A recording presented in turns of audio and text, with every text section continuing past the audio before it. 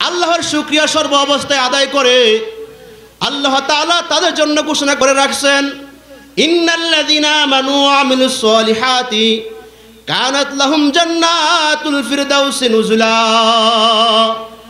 ও বান্দা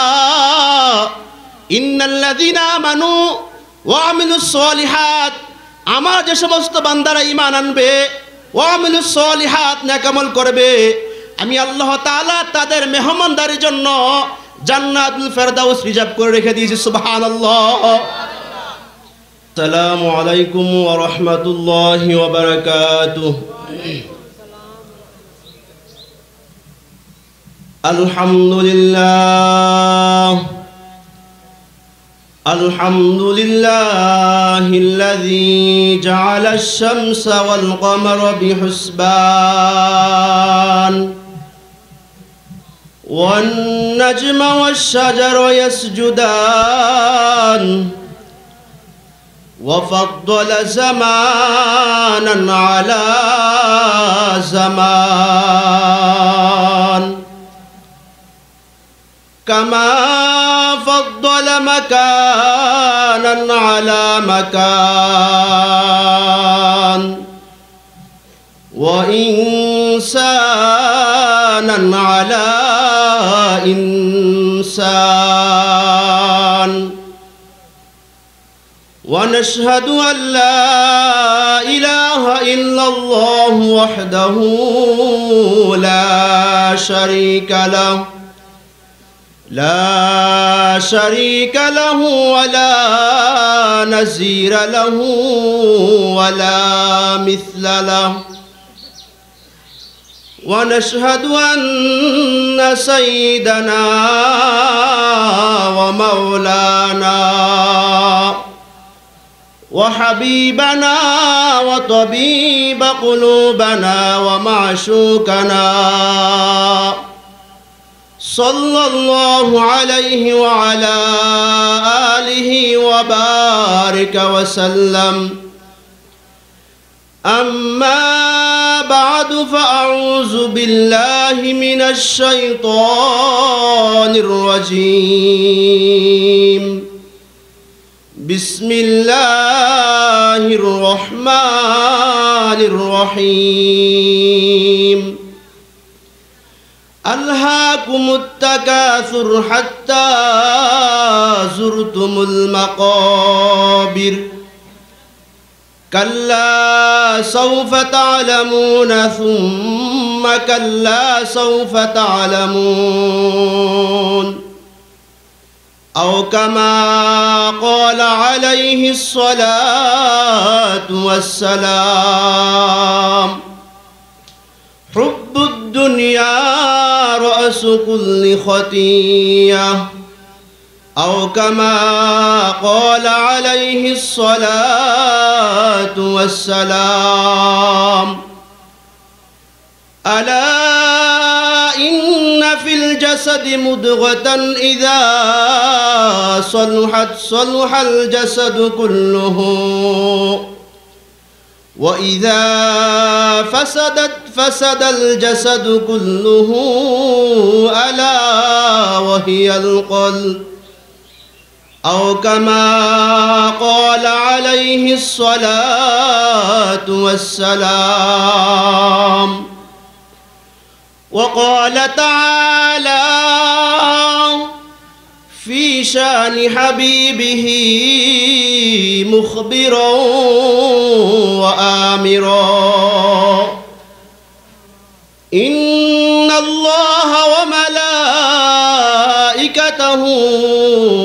يصلون على النبي يا أيها الذين آمنوا صلوا عليه وسلموا تسليما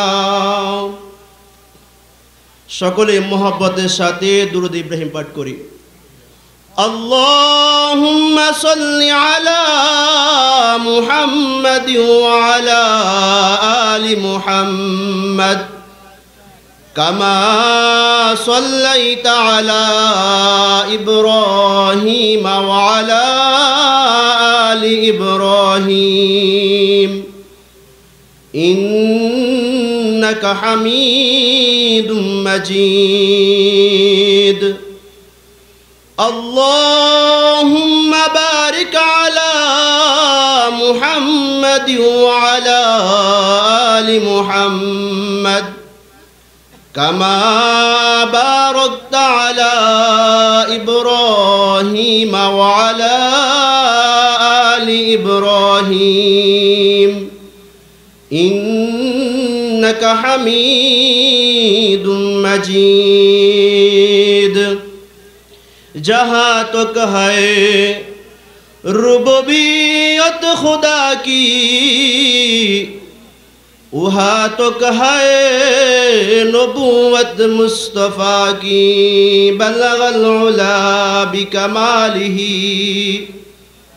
كشف الدجى بجماله. حسنت جميع خصاله.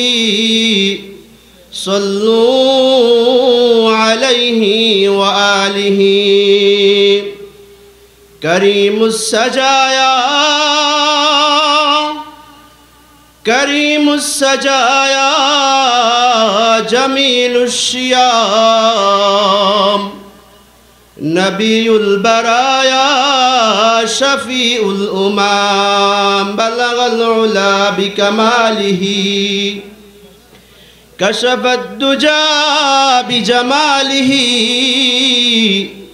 حسنت جميع خصاله. صلوا عليه وآله الحمد لله সম্মানিত উপস্থিতি মহান আল্লাহ তাআলা দরবারে অসংখ্য কোটি শুক্রিয়া যে আল্লাহ তাআলা আমাক আমাকে আপনাকে প্রতি বছর নেয় আজকে মুকিমপুর দক্ষিণ পাড়া জনাব জহিরুল হুজুরের বাড়িতে সপ্তম বার্ষিকী মাহফিলে আসার এবং বসার তৌফিক দান করেছেন। এজন্য আমরা সকলে সকলে অন্তর অন্তরস্থল থেকে শুক্রিয়া আদায় করি, আলহামদুলিল্লাহ।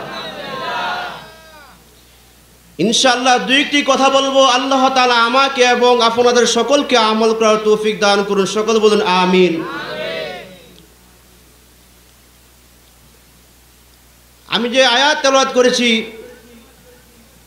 আল্লাহ তাআলা বলেন আল্লাহ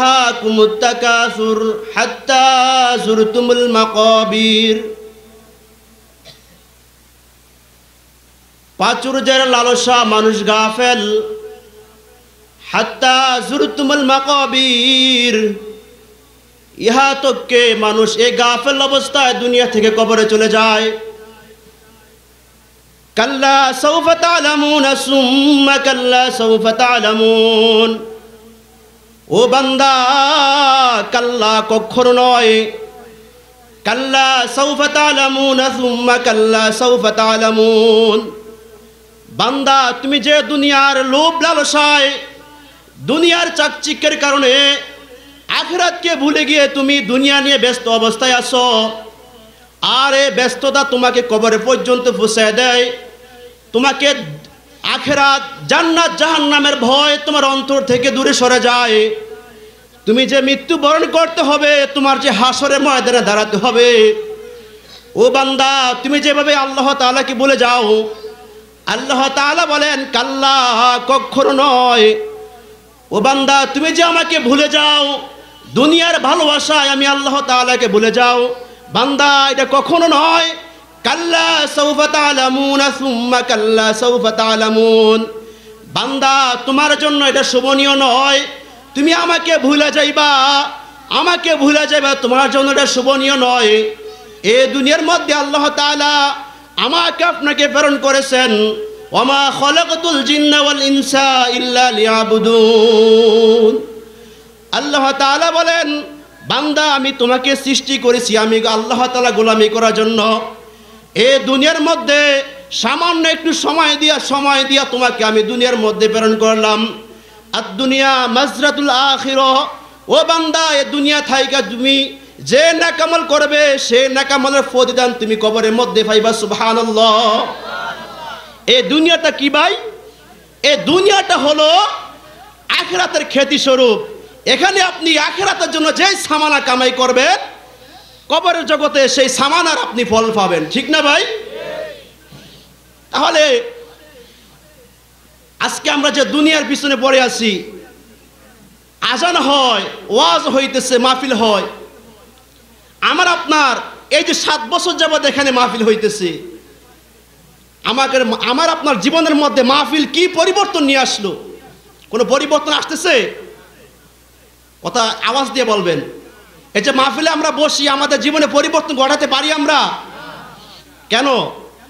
এই সমস্ত ওয়াজ মাহফিল থেকে, জুমার বয়ান থেকে আলোচনা তো এটাই হয় যে মানুষ পরিবর্তন হবে, মানুষ নামাজি হবে। কি হবে ভাই?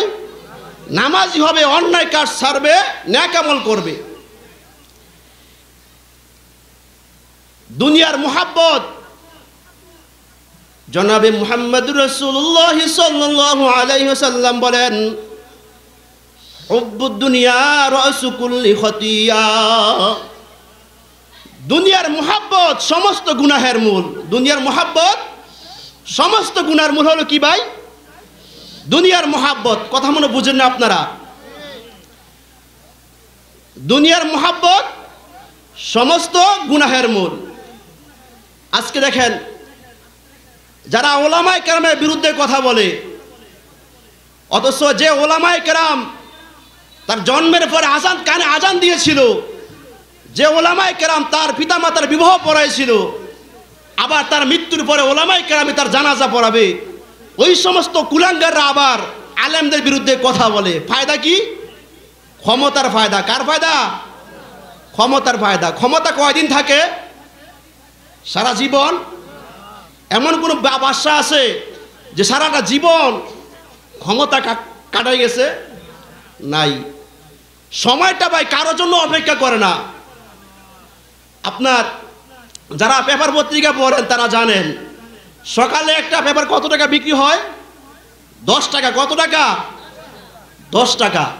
আবার সেই পেপারটা বিকালবেলা কেজি বিক্রি হয় দশ টাকা। কেজি কত? দশ টাকা। তা চিন্তা করে দেখেন, যেই পেপার, একটাই পেপার সকালে বিক্রি হয় দশ টাকা করে, কিন্তু সময়টা ঘুরে যাওয়ার কারণে সেই পেপারে কেজি কত টাকা হয়? দশ টাকা কেজি বিক্রি হয়।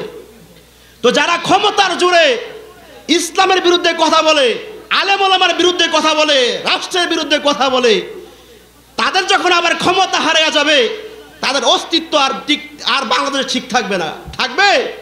থাকবে না। এই ক্ষমতা এই দেশ জাতীয় পার্টি শাসন করছে করছে না? বিএনপি শাসন করছে, আওয়ামী লীগ শাসন করছে, আবার বিএনপি আসছে, আবার আওয়ামী লীগ আসছে। ক্ষমতা পরিবর্তন হয়। ক্ষমতা কি হয় ভাই? পরিবর্তন হয়। কিন্তু এই অবস্থায় যদি আপনার ক্ষমতা থাকার কারণে আপনি অন্যায় করেন, তার প্রতিদান দুনিয়া বুক করতে হবে, আখেরাতও বুক করতে হবে। আল্লামা আব্দুল মামুন সাহেব বলে গেছেন, এই করোনার কালে সবচেয়ে বড় ভূমিকা ছিল ওলামায় কেরামে। কাদের ভাই?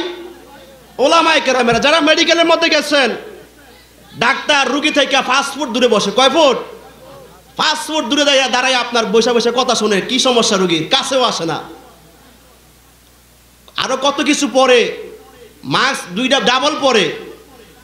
কিন্তু ঢাকা শহরে যত মসজিদ আছে, কোন ইমাম সাহেব মুখে মাস্ক পরে নামাজ পড়াইছে? ইমামরা কিন্তু মাস্ক পরে নাই। প্রতিদিন ঢাকা শহরের মধ্যে বিভিন্ন আনাচে কানাচ থেকে মানুষ যায়।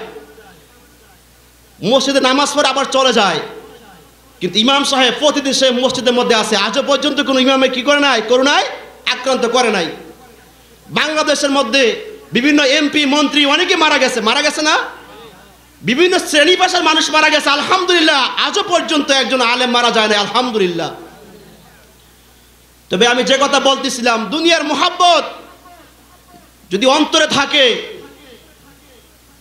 আর ওই মোহাব্বত নিয়ে যদি দুনিয়া থেকে আমি চলে যাই তাহলে আমার কবরটা কি হবে আমরাই ভালো জানি, ঠিক না ভাই? আল্লাহ তাআলা বলেন, হাত্তা জুরতুমুল মাকাবির। এই দুনিয়ার মোহাব্বত, এই দুনিয়ার মোহাব্বতের কারণে মানুষ কবর পর্যন্ত পৌঁছে যায়, তারা মাওলার পরিচয় পায় না। আল্লাহর শুক্রিয়া সর্ব অবস্থায় আদায় করে, আল্লাহ তাআলা তাদের জন্য ঘোষণা করে রাখছেন, ইন্নাল্লাযীনা আমানু ওয়া আমিলুস সলিহাতি। কানাত লাহুম জান্নাতুল ফিরদাউসি নুজুলা। ও বান্দা, ইন্নাল্লাযীনা আমানু ওয়া আমিলুস সলিহাত, আমার যে সমস্ত বান্দারা ঈমান আনবে ওয়া আমিলুস সলিহাত নেকামল করবে, আমি আল্লাহ তাআলা তাদের মেহমানদারির জন্য জান্নাতুল ফেরদাউস রিজার্ভ করে রেখে দিয়েছি, সুবহানাল্লাহ। আপনার হযরত ঈসা আলাইহিস সালাম, ওনার একজন খাদেম ছিল। ওই খাদেমকে নিয়ে ঈসা আলাইসালাম সফর করতে লাগলেন। কিছু দূর পরে কিছু খাবার নিয়ে গেছিলেন, শুকনা খাবার। সফরে মাঝামাঝি যাওয়ার পরে ঈসা আলাইসালামের খাদেমকে বলছে, খাদেম, যে খাবারগুলো নিয়ে আসছি, ওই খাবারগুলো বাহির করে, খাবার খাব এখন। খাদেম সেই খাবার ঈসা আলাইসালাম চাওয়ার আগে খাইয়া ফেলছেন। ঈসা আলাইসালাম যখন খাদেমকে বলল, খাদেম, খাবারগুলো বাহির করে, খাবার এখন, খাবার খাব। খাদেম বলতেছে, আল্লাহর পয়গম্বর, আপনি যখন আরাম করতেছিলেন, ঘুমাইছিলেন, আমিও ঘুমাইছি। ঘুমে থেকে উঠার পরে খাবারগুলো আর পাত্রের মধ্যে পাই না, নাই। ঈসা আলাইসালাম বললেন, খাদেম রে এই জঙ্গলের মধ্যে আমার আর তোমার ছাড়া কেউ নাই, খাবার খাইবে কে? আল্লাহর পয়গম্বর ঠিকই জানেন, খাবারগুলো খাদেম খাইছে।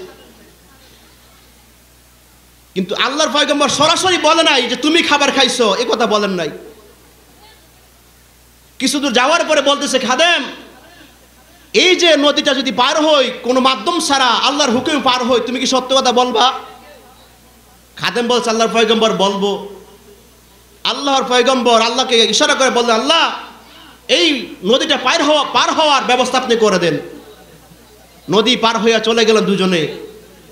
খাদেম তারপরে বলতেছে আল্লাহ পয়গম্বর, আমি খাবার খাই না। দ্বিতীয়বার যখন কিছু দূর যাওয়ার পরে বলছে, খাদেম, এই যে বকরিটা দেখতেছো, এই বকরিটা যদি আল্লাহর হুকুমে বুনা হয়ে যায়, আর আমি আর তুমি যদি তৃপ্তি সহকারে খাই, তুমি সত্য কথা বলবা? খাদেম রাজি হয়েছে। তারপর আল্লাহর পয়গম্বর বলতেছে, খাবারে পরে। এই আল্লাহর গোলাম, বলো, আমাদের খাবারগুলো কে খাইছে? তারপরেও বলে নাই। তৃতীয়বার যখন বললেন, খাদেম, এই যে পাহাড়টা দেখতেছো, যদি এই পাহাড়টা স্বর্ণের টুকরা হয়ে যায়, তাহলে কি তুমি বলবা? তখন বলতেছে আল্লাহর পয়গম্বর, আমি বলব। আল্লাহর হুকুমে ঈসা আলাই আলাইসালাম পাহাড় কি ইশারা করলেন, আল্লাহর হুকুমে তুমি মাটি স্বর্ণ পরিণত হয়ে যাও। তখন স্বর্ণ হয়ে গেছে। ঈসা আলাইসালাম এই দৃশ্য দেখে খাদেম বলতেছে, আল্লাহর ফয়গম্বর আমাকে বেয়াদবি মাফ করবেন। খাবারটা আমি খাইছি। খাবারটা খাদাম স্বীকার করছে এখন। ঈসা আলাইসালাম তো অনেক রাগ হলেন। এতবার বলার পরে তুমি সত্য কথা বলো নাই। চলো সামনে চলো। না হু, পয়গম্বর, আমি যাব না। আমি স্বর্ণ নিয়ে এখান থেকে যাব। ঈসা আলাইসালাম বললেন, তুমি স্বর্ণ এখন আমার সাথে সফরে যাও, আমার সফর শেষ হওয়ার পরে তুমি রওনা করো স্বর্ণ নিয়ে। কথা শুনে নাই। ঈসা আলাইসালাম ওনার সফরে চলে গেলেন গন্তব্যস্থানে। আর খাদেম, সে স্বর্ণের টুকরা নিয়ে যখন যাইতেছিলেন, তখন দেখা হয়েছে বন্ধু ডাকাতের সাথে। কার সাথে? ডাকাতে ধরছে। ডাকাতে ধরার পরে ডাকাত বলতেছে এই যে তোমার কাছে স্বর্ণগুলো আছে, এগুলো আমাদেরকে ভাগ দিতে হবে। কি দিতে হবে? ভাগ দিতে হবে। তখন খাদেম একা, ডাকাত দুজন তখন বলতেছে ঠিক আছে, আমি খাব আপনাকে ভাগ দিব, আগে আমার কিছু খাবার এনে দেন। কি দেন? খাবার। তো দুজন থেকে একজনে ছিল, আরেকজন খাবার আনতে গেছে। যে খাবার আনতে গেছে, ওই বুদ্ধি করছে কি, যদি আমি খাবারের সাথে বিষ আনি, তাহলে এই খাবার বিষ খাবার খাইয়া তারা দুজন মৃত্যুবরণ করবে আর স্বর্ণগুলো আমি একা নিয়ে যাব। এই নিয়ত করে খাবারের মধ্যে বিষ মিশে আনছে। আর যে দুজন স্বর্ণ নিয়ে বসেছিল, তারা দুজন পরামর্শ করল, যদি ওই খাবার নিয়ে আসে, কিছু জিজ্ঞাসা করে আগে মার দিমু। কি দিমু? মাইরা, ওরে মাইরা আমরা দুজনে বাক করে নিয়ে যাব। দেখেন, দুনিয়ার লোভ। ওই আল্লাহর গোলাম খাবার আনতে যাই না আনতে যাইয়া খাবারের সাথে বিষ মিশ্রিত করে নিয়ে আসছে। আর ওই দুজন, ওরা লাঠি নিয়ে বসে আছে, কথা বলা আগে মার দেওয়া শুরু করবে খাবার আনছে, খাবার দেওয়ার আগে ওরা পিঠটা মেরে ফেলছে। প্রথম জন শেষ। খাবারের মধ্যে বিষ দিয়ে আছে, ওরা দুজন জানে? জানে না। ওরা দুজন ওই ওরা মারার পরে খাবার খাইছে। খাবার খাওয়ার পরে তিনজন জাগাত শেষ। তিনজন জাগাত শেষ। স্বর্ণ কে নিবে এখন? হ্যাঁ? কথা মনে বুঝেন নাই? কেউ নাই। আল্লাহর ফয়গম্বর ঈসা আলাইসালাম সফর শেষ করে আসতেছেন। আসার পরে দেখেন এই অবস্থা। একজনকে রেখে গেছেন। এখন লাস্ট তিনটা। কয়টা? তিনটা। স্বর্ণের জায়গায় স্বর্ণ পরে রয়েছে। এটা হলো ভাই দুনিয়া। এটা কি ভাই? দুনিয়া অমুককে ঠকাইতে পারলে আমি লাভবান হব। অমুককে ঠকাইতে পারলে আমি লাভবান হব। এই যে দুনিয়ার অস্বস্তি প্রতিযোগিতা, কাকে মেরা কে খাইব? আপনি দেখেন, মসজিদের মধ্যে যাইলে দেখা যায়, সামনের কাতারে সবাই ঠেলা দেয়। একমাত্র মসজিদের মধ্যেই মানে সামনে পাঠায়। দুনিয়ার আর অন্য কোনো ক্ষেত্রে কিন্তু আপনাকে সামনে উপরে উঠতে দিব না। দিব? যারা আপনি দেখেন মসজিদের মধ্যে উপরে সামনে কাতারও দেয়, ওরে কিন্তু ব্যবসা লাভ করতে দিব না। দিব? দুনিয়াটা হলো লোভ আর হিংসা। এ দুনিয়া নষ্ট হয়েছে আপনার লোভ এবং হিংসা, হিংসার কারণে। কিসের কারণে ভাই? লোভ এবং হিংসার কারণে। কাবিল হাবিলকে হত্যা করেছে, আকলিমাকে বিবাহ করবে এই জন্য এই দুনিয়ার লোভ। যাই হোক ভাই তো ঈসা আলাইসালাম উনি বুঝাইছেন যে দুনিয়া আসলে এটা নাপাক জিনিস। দুনিয়া কি জিনিস ভাই? নাপাক জিনিস। আল্লাহর পয়গম্বর দুনিয়ার উদাহরণ এভাবে দিয়েছেন যে দুনিয়ার মানুষ হায়াতটা হলো এতটুকু। কতটুকু ভাই? হায়াত এতটুকু, কিন্তু তার আশাগুলো থাকে অনেক বড় বড়। কি থাকে ভাই? অনেক বড় বড়। এই দুনিয়াকে কেউ ধরতে পারে না। পারে? আপনার হায়াতে কত আশা আছে? আপনি কয়টা আশা পূরণ করতে পারবেন? এ দুনিয়ার কারও পেট ভরবে না। কবরে মাটি ভর রাখ পর্যন্ত বুকের মধ্যে। দুনিয়াকে কেউ ধরতে পারে না। আর দুনিয়া জিফাতুন অতলা বুহা কিলাবুন। দুনিয়া হলো নাপাক, আর নাপাকের সন্ধান করে কুকুর। কে সন্ধান করে? কুকুর। আমি সংক্ষেপে শেষ করতেছি। তো ভাই, দুনিয়ার মধ্যে যদি হালা হারাম পথে যদি মাল উপার্জন করে, সেটা হলো আপনার অবৈধ সম্পদ। আর তাদের জন্য অভিশাপ আসছে। কিন্তু যে ব্যক্তি হালাল পথে টাকা রোজগার করবে, লক্ষ টাকা মালিক হলেও কোনো ক্ষতি নাই। ক্ষতি নাই। কিন্তু দেখেন, আজকে আমরা লাভের প্রতিযোগিতা, ওজনে কম দেওয়া হয়, ভালো মাল কিনতে গেলে পচা মাল দেওয়া হয়, বিভিন্নভাবে মানুষকে ঠকানো হয়। আমাদের ইমাম আবু হানিফা রহমতুল্লাহ আলাই, উনি ছিলেন সবচেয়ে বড় ধনী। যে কাপড়টা একদিন পরতেন, অন্যদিন পরতেন না। এত বড় ধনী ছিলেন, উনি কিন্তু মাঝহাবের ইমাম। আল্লাহ রাসুলের স্ত্রী খাদিজা রাজি আল্লাহ আনহা, উনি ছিলেন সবচেয়ে বড় ধনী মক্কার মধ্যে। হজরত উসমান রাজি আল্লাহ আনহু, উনিও ছিলেন ধনী ব্যবসায়ী। ধনী হওয়া দূষণীয় নয়। আপনার যদি টাকা পয়সা না থাকে, আপনার স্ত্রী হক, আপনার সন্তানের হক, আপনার পিতামাতার হক, আপনি কীভাবে আদায় করবেন? ঠিক না ভাই? টাকা পয়সা কামাই করা যাবে, হালাল পথে, কোন পথে? হালাল পথে, কিন্তু অবৈধ পথে লোভ, লালসা করে টাকা পয়সা কামাই করা যাবে না। আল্লাহ তাআলা আমাকে, আপনাকে সকলকে দুনিয়া বিমুখ হয়ে আখেরাতমুখী হওয়ার তৌফিক দান করেন এবং বিশেষ করে আল্লাহ তালা আমাকে, আপনাকে সকলকে ফাঁসক্ত নামাজ হিসেবে কবুল করে নেন। অমা তৌফিক ইল্লা বিল্লাহ।